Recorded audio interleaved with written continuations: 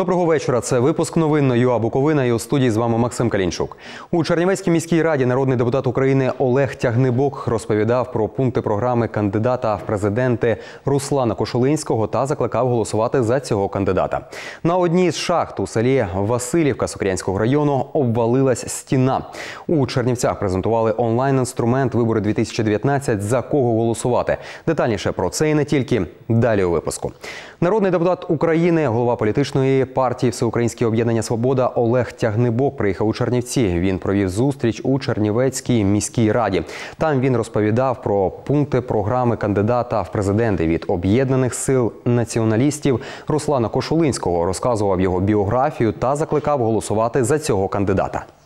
Дайте нам отих 10 з хвостиком для Кошулинського, і ви будете мати в другому турі націоналіста, патріота, українця. Тому за тих два з половиною тижні, що залишилося, ми не тільки агітуємо вас підтримати нашого кандидата. Ми вас агітуємо іти до людей, Ми спитали у Олега Тягнебока, чи він знає, що агітація в приміщеннях органів місцевого самоврядування заборонена законом. Будь ласка, ви знаєте, що пунктами законодавством заборонено давати приміщення місцевого самоврядування?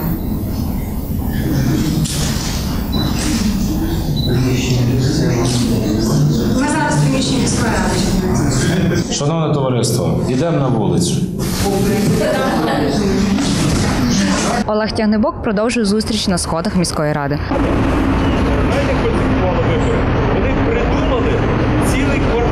Представники громадянської мережі Опора у Чернівцях, офіційні спостерігачі на виборах написали заяву в поліцію, де вказали, що Олег Тягнебок агітував у приміщенні міської ради і що там були розміщені агітаційні матеріали кандидата Руслана Кошулинського, що забороняється законом про вибори президента. що агітація в органах місцевого самоврядування і в органах державної влади у нас е, заборонена. І відповідно за це так само передбачена адміністративна відповідальність. Заява оформляється та і там слідчо оперативна група. Вони потріб- повинні е, зібрати всі матеріали для того, щоб зафіксувати дане порушення. На зустрічі Олега Тягнебока були агітаційні матеріали кандидата в президенти Руслана Кошулинського та агітаційний стенд. Олан Дуняк, Роман Пилатик, ЮА Буковина. У селі Васильівка Сокирянського району обвалилась стіна на одній із шахт. Двоє осіб травмовані. Про це нам повідомив голова сільської ради Анатолій Зелений. Є інформація, там не стільки шахтово, там просто чуть-чуть усипалась стіна з. Да, є травмовані люди. Там не сильно, там одному серебро вламали і все, більш нічого. Це обвал на, по-моєму, на сьомій шахті. Там одному нічого немає, просто дров прижало до, там стояла цей опалубка з арматури, і оця глина, що цьому, трошки прижало, і все на все. Працівники травмувалися під час робіт з поглиблення та бетонування однієї з підхідних шахт Дністровської гідроатомної електростанції. Це були працівники «Київметробуд», повідомив директор філії дирекція з будівництва Дністровської ГАЕС Василь Субота. На них обвалилась металова конструкція, опалубка. Про це повідомила на своїй Фейсбук-сторінці Державна служба з надзвичайних ситуацій Чернівецької області. За попередньою інформацією рятувальників у одного з працівників забій стегнової кістки та перелом бедра. Інший робітник відмовився від медичної допомоги. Також Василь Субота сказав, що на Дністровській ГАЕС проведуть службове розслідування через травму працівника. Розслідування ініціює генпідрядник, який уклав договір із працівниками «Київметробуд».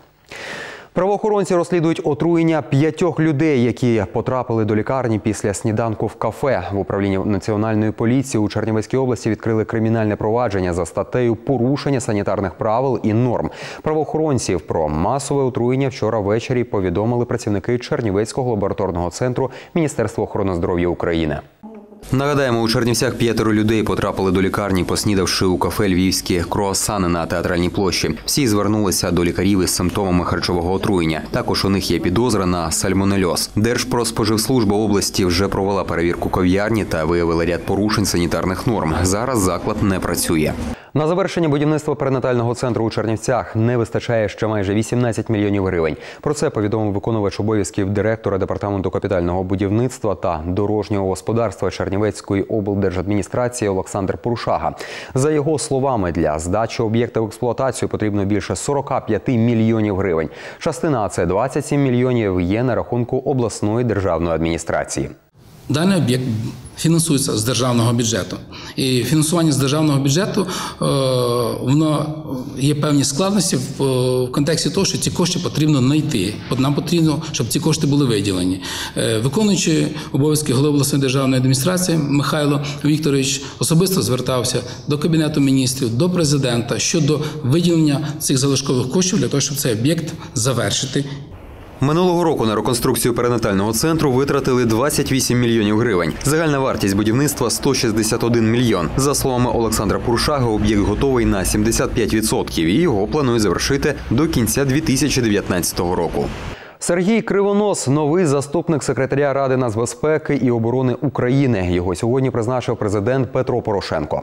Я приложу максимум зусиль, щоб унеможливити прояви корупції, мародерства в армії. Я дуже добре пам'ятаю і те, що ви, пане полковнику, зробили для створення сил спеціальних операцій, і активну підтримку громадськості, волонтерів, добровольців.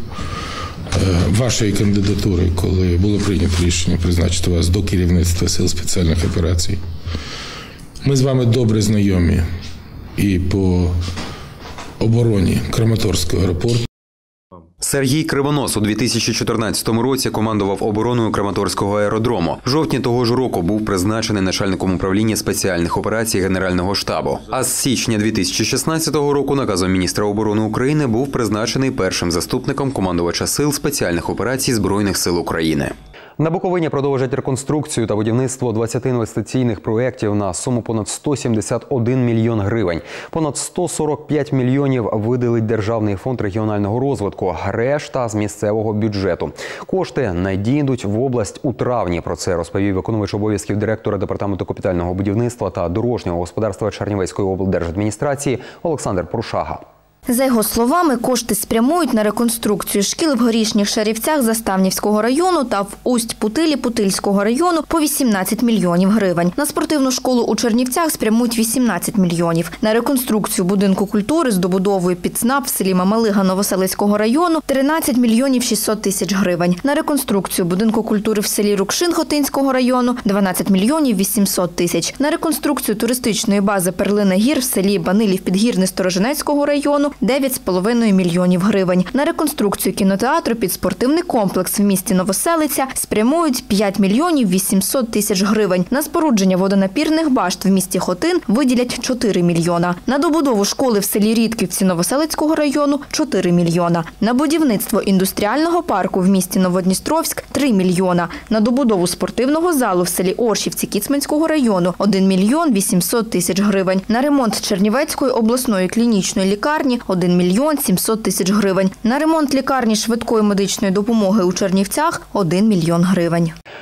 У Чернівцях презентували онлайн-інструмент Вибори 2019 за кого голосувати. Це спільний проект громадської організації Центр UA та видання Українська Правда. За словами координаторів проекту, він допоможе виборцям ознайомитись з пунктами програм кандидатів у президенти України. На сайті вони розгруповані по темам. Координаторка ГО Центр ЮА у Чернівецькій області каже, проект значно полегшить виборцю зробити вибір. З усіма програмами стисло можна ознайомитись менш ніж за півгодини. Мені важливо знати за кого я буду голосувати.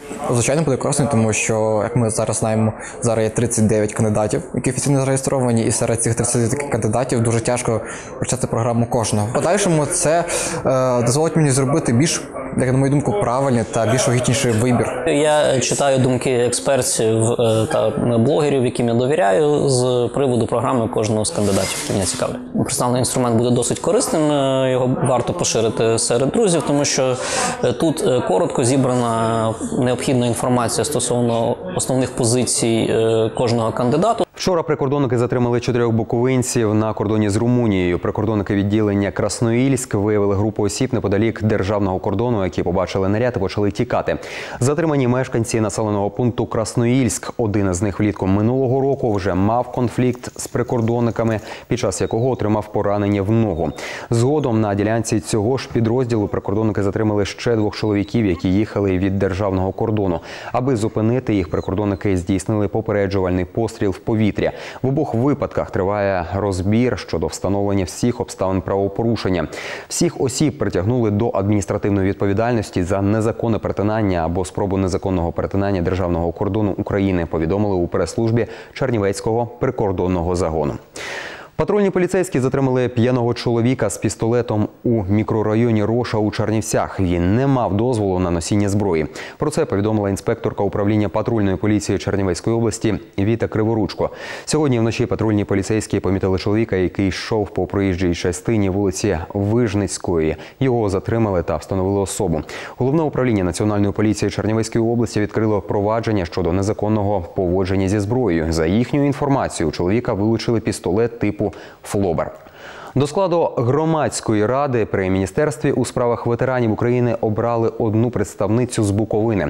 Оксана Зубжицька, голова громадської організації Герой Родина Україна, дружина загиблого у 2014 році учасника АТО Віктора Гредькіна. Обрали її шляхом голосування. Також від Чернівецької області участь брали ще п'ятеро делегатів, яким голосів не вистачило.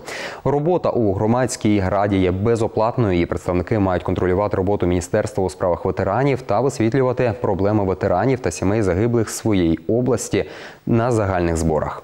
На сьогодні ну я рахую, що є дуже е, багато е, е, несправедливості по відношенню до родин загиблих. На сьогодні ну саме чому, чому я навіть подала документ, що- я вірю в те, що ці питання можна вирішити сам треба вирішувати саме на державному рівні. Це міністерство е, утворилось саме для того, щоб е, ну почути і переформатувати ці старі закони або навіть е, е, нові. Е, Створити е, для більшого і справедливого захисту е, і членів сімей загиблих, і взагалі ветеранів. Тобто, за її погодженням виносяться ті чи інші питання на розгляд кабінету міністрів Верховної Потяг Чернівці Львів курсуватиме до станції Чернівці Південне, яка розташована на вулиці Маловокзальній. Транспортний експеримент запрацює з 31 березня. Змінити графік руху потягу Укрзалізниці запропонувала Буковинська агенція регіонального розвитку. Станція знаходиться в районі автовокзалу. І якщо проаналізувати, куди рухаються люди після того, як виходять з залізничного вокзалу, то величезна кількість людей рухається саме в той напрямок. Продовження до станції Чернівці Південна воно дуже спрощує, скажімо так, життя мешканця міста, тому що люди, які живуть в тому мікрорайоні, можуть не їхати через це місто, не оплачувати додатково за таксі, а можуть власне сісти на потяг уже на станції За словами Тетяни Лебухорської, у листі, який надіслала Укрзалізниця, не вказано, скільки часу триватиме транспортний експеримент. На цьому наш інформаційний випуск завершено. До зустрічі в ефірі.